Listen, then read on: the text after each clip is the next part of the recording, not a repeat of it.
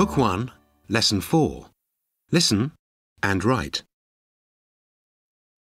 In my pet shop, I've got four puppies, six kittens, three rabbits, two guinea pigs, and eight mice.